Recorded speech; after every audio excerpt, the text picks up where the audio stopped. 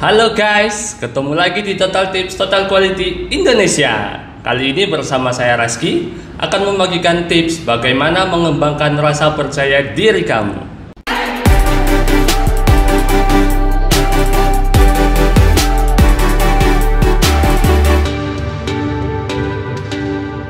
Masih banyak yang mengira kalau kepercayaan diri itu adalah hal yang tidak bisa dipelajari. Banyak yang menganggap kepercayaan diri itu adalah sebuah takdir, sehingga kita malas untuk terus berusaha mengembangkan dan melatih rasa percaya diri itu sendiri. Rasa percaya diri itu bisa dipupuk dan dipelajari, guys.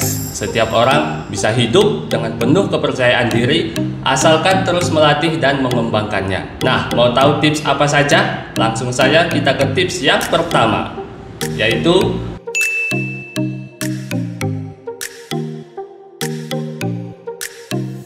Bangun pola pikir positif.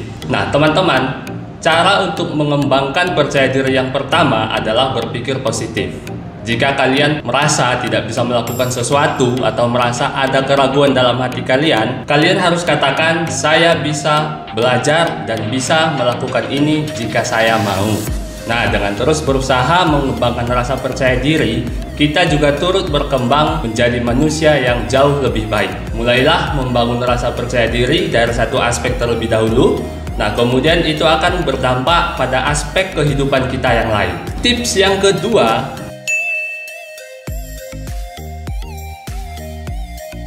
kenali kekurangan dan kelebihan kamu. Tanamkan pada diri kalian bahwa setiap orang memiliki kekurangan dan kelebihan masing-masing.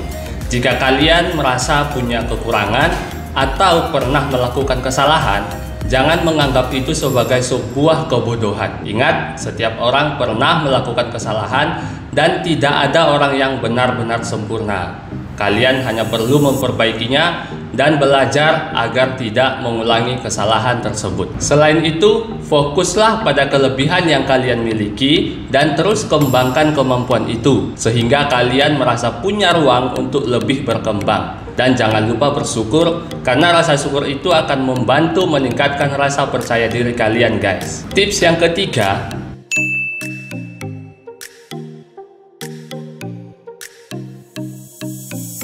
fokuslah pada langkah atau perubahan kecil.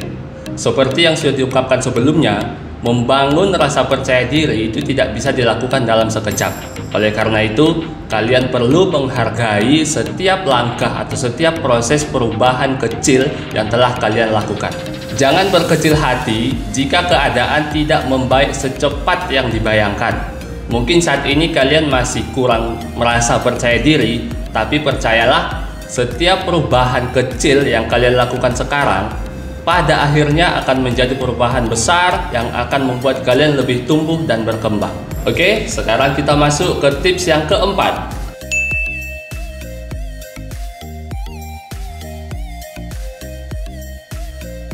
Lakukan hal-hal yang kalian sukai.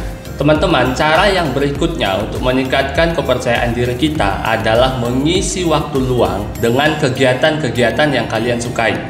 Jika memungkinkan, cobalah mempelajari sebuah keterampilan baru atau menggeluti hobi baru yang mungkin sebelumnya ingin kalian coba. Selain menimbulkan rasa bahagia, kegiatan-kegiatan yang kalian sukai, keterampilan baru yang kalian sukai akan membuat kalian fokus pada kegiatan tersebut dan secara otomatis kepercayaan diri kalian juga akan lebih muncul dan lebih berkembang dan kalian menikmati setiap kegiatan-kegiatan yang kalian lakukan sekarang. Untuk tips yang kelima, the last but not least,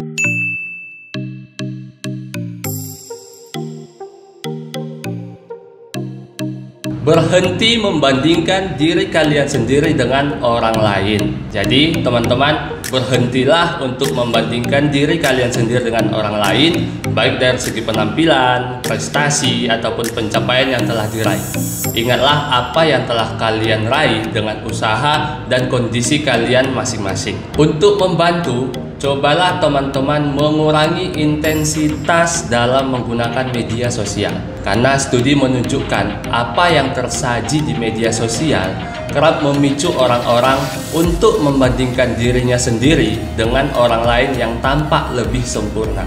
Tentu kondisi ini tidak akan membantu teman-teman untuk mengembangkan rasa percaya diri kalian.